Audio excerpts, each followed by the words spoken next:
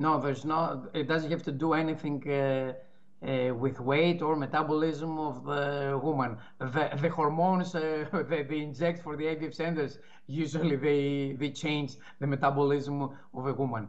So the intralipid doesn't have any. As I said uh, before, no side effects, no metabolism problems, nothing.